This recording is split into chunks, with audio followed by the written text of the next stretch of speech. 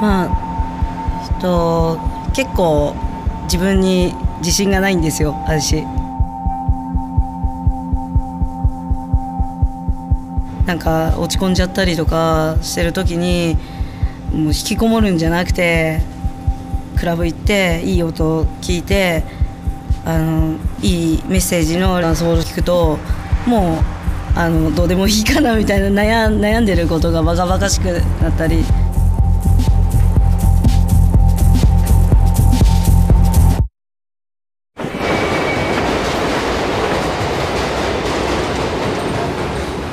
It was just different. I didn't understand the lyrics. I didn't understand nothing. But the whole vibe was just like, it just blew my mind. When dancehall first hit Japan, people thought, why Japanese people doing reggae? This whole culture is just, just, just different. Why Japan? You know? Just believe When we went to New York and Jamaica, the whole vibe was crazy we thought we gotta do this. Dancehall scene is all about love, respect, and energy. We want to like bring that culture to Japan. It was like a mixed reaction. One half of the people was just cheering for us. The other half was saying, you guys not gonna make it. Japanese sound system thing is just a fascination. It's gonna be done by next year. And like, you know, a lot of haters. But you know, that made us strong too. Dancehall queen Junko. She's the first one who won the dancehall queen contest in Jamaica. She brought like a whole different scene to Japan.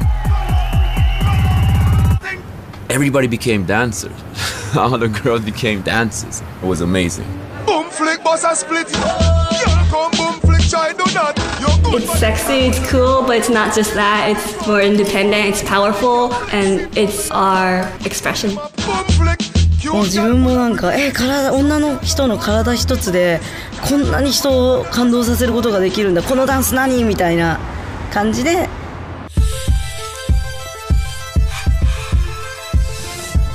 えー、と出版社でイラストを描いてます。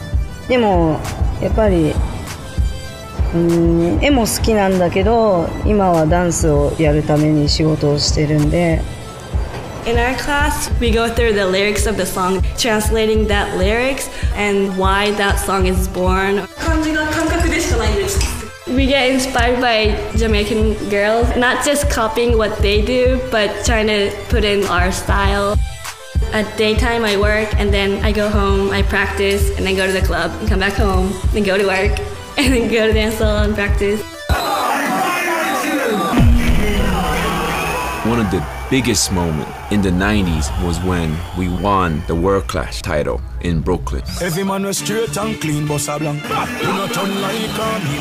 That kind of changed the whole game in Japan because we're like the first Asian sound to win a World Clash in history. Nobody could ever beat like a Jamaican sound in a battle. Nobody, period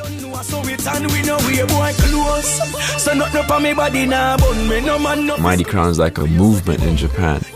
It was really amazing because we didn't expect that.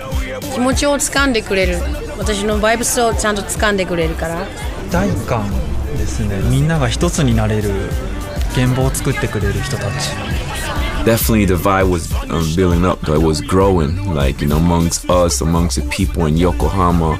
And then the word spread to like different city you know to tokyo all the way to osaka like different different cities in japan. When we started we never expect to do our own show in the biggest stadium in yokohama. With 35,000 people. It's like a miracle you know? Every year is like a miracle like a dream come true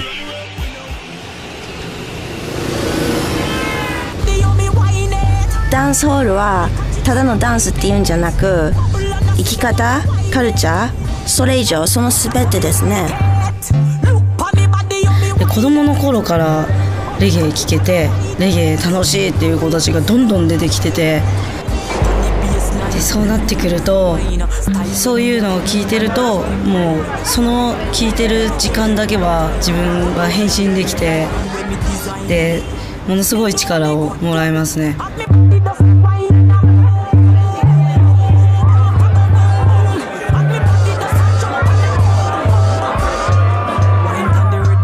dancehall it keeps on going and going and going.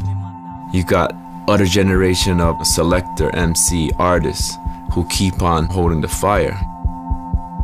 ダンスホールは日本のカルチャーにすごく浸透することができたんです This whole sound system, Mighty Crown thing is something that's gonna go on forever.